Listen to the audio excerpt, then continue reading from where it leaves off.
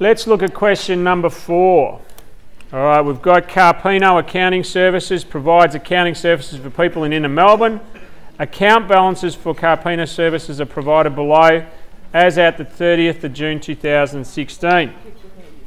And we're given a whole heap of account balances.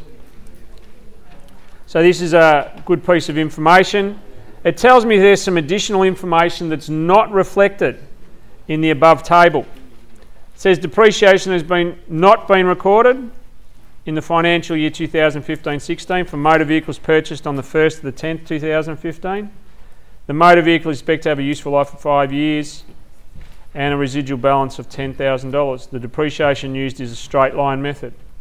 So there's a good bit of information there. It says depreciation has not been recorded for the computer equipment either. So we've got some computer equipment.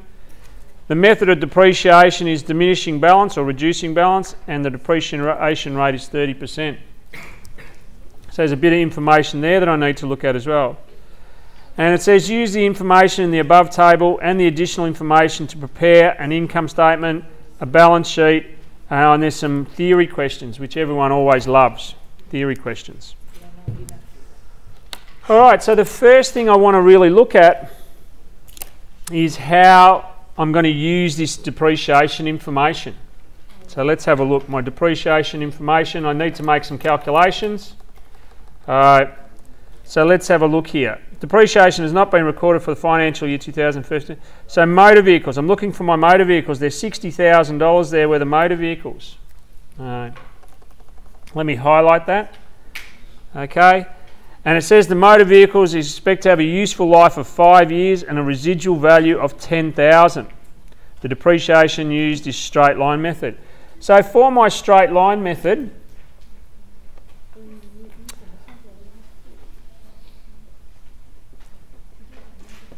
my formula, and you can find your formulas in your formula sheet. If you're wondering where they are, they're just at the next page. So there's my formulas. Um, is my cost minus my residual divided by my life. Now the cost of my um, assets is 60,000 minus my residual value of 10,000 divided by my five years of useful life and this equals $10,000 per annum. All right, so now I'm going to have depreciation here, but it tells me that I purchased these on the 1st of the 10th, 2016. So I've got October, November, December, January, February, March, April, May, June. I've got nine months that I have to take into consideration. So really what I've got is 9 twelfths times 10,000 equals 7,500. So I'm going to have depreciation expense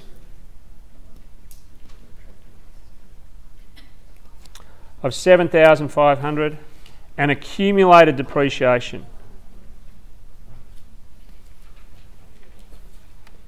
of 7,500 and that's for my motor vehicles. The next piece of information, so let me just draw a line there. Next piece of information says that um, depreciation has not been recorded for the computer equipment either. Where's my computer equipment? Up here, it's 12,000. So we're looking at that number. And um, the depreciation has not been recorded uh, for this using the diminishing balance and the depreciation rate is 30%. So what we're looking for here in my diminishing balance, my formula is my cost minus my accumulated depreciation. Whoops. Times my rate. So my cost is 12,000. Have we got any accumulated depreciation for a computer equipment? We've got, we've got 4,000 here. So I've got 4,000 times my rate of 30%. So what do we get there? We get, that's 8,000 So it's two thousand four hundred dollars. So that's my depreciation for the year. So now it tells me that um, depreciation has not been recorded. So I'll have to adjust my accumulated depreciation here. This is no longer going to be 4,000. It's going to be 4,000 plus 2,400. So it'll be 6,400. And my depreciation expense plus computers will be 2,400 plus 7,500 will equal, what's that, 9,900. So I have made two adjustments to my um, accounts, or I've made adjustments for my accounts to include this depreciation and this depreciation as well. Uh, you will be asked to calculate a depreciation. Now, once I have done this, what's the next step I need to do in preparing an income statement? Classify. All right. So now what am I classifying into? My classifications will be what? Income, expenses, current assets, non-current assets, current liabilities, and so everything should fall under one of these categories. So what would I classify my cash as bank as? Current asset, accounts receivable, current asset, accounts payable, current liability, accumulated depreciation from computer equipment. Yeah, it's a negative non-current asset. Computer equipment, non-current asset. Bank loan, non-current liability. Uh, capital, equity. Computer maintenance, expenses, yep. Drawings, rent expense, that's easy. Wages,